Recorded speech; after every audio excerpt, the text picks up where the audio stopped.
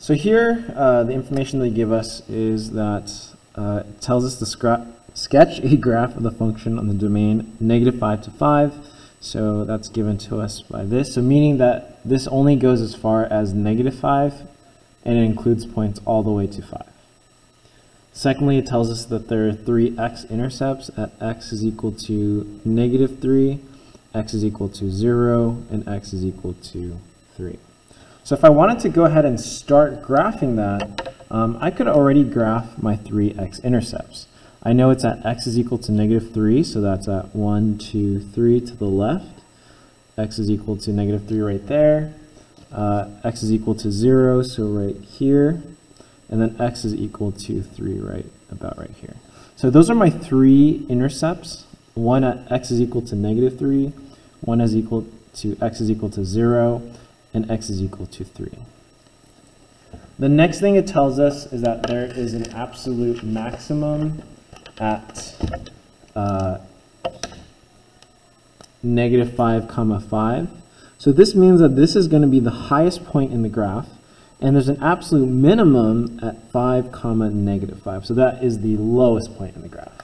So they tell us that those points are at negative 5 comma 5. So um, negative 5 comma 5 is at 1, 2, 3, 4, 5 to the left because negative 5.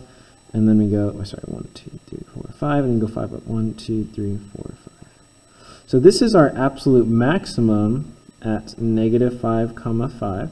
And then our absolute minimum is at 1, 2, 3, 4, 5, 1, 2, 3, 4, 5.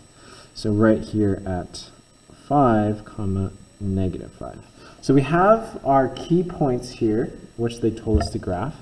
Um, we have our absolute maximum right here, absolute minimum right here, and our x-intercepts. So part of this is that uh, you have a little bit of freedom of how to graph the slopes. The slopes are not constant, um, and that is something to keep in the back of your mind.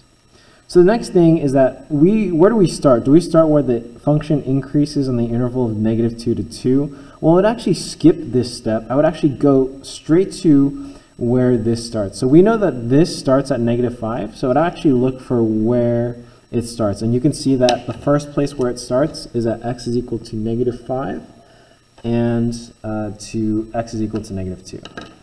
So this tells us that the function decreases, meaning that we're going to have a slope that looks something like this, decreasing.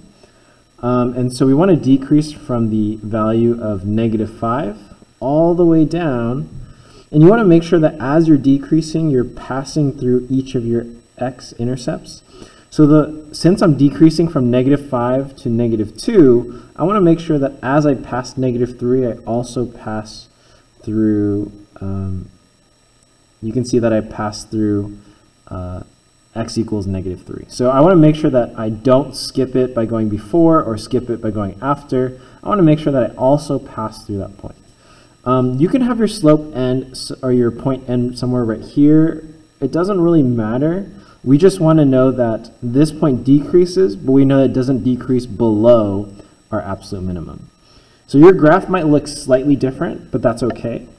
So the next thing is that after it decreases from x is equal to negative 5, and it decreases where x is equal to negative 2, then it's going to increase, because here we want to see it increases at x is equal to negative 2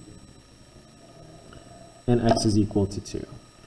Okay, So it increases from x is equal to, to negative 2, and so we pick off where we stopped, and then we increase, and you can see again that I'm going to make sure that I pass through my intercept. So I'm going to increase, increase, increase. It doesn't matter how far I increase it to.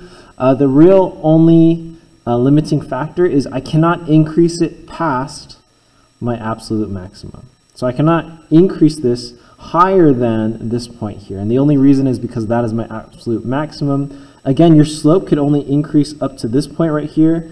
It doesn't need to increase as much, um, but again, it just has to increase. So again, we just want to make sure that one, we pass through our x-intercepts, and then two, that this line is increasing, but it doesn't matter how far you increase it or how high you increase it.